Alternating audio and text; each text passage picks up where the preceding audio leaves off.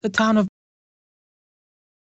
Ah, most esteemed administrator, you have been brought to this location, the banks of the Wei River, so that you might establish the town of Baoji. The local waters will provide fish to supplement the wheat crop. However, it is the rocks that hold the most value, as their deposits of copper can be fashioned into bronze, and the bronze into elaborate ceremonial vessels dearly needed at our capital of Hsiang. Because of this, expect the king to make annual requests for bronzeware. To help alleviate the costs of these industries, taxes should be levied upon the populace. Locate an appropriate site for an administrative city and hire some tax collectors. But look also beyond the capital, for there is profit aplenty to be had. You can barter off excess quantities of hemp and wheat, and jade can be imported and then fashioned into beautiful carvings by skilled craftsmen.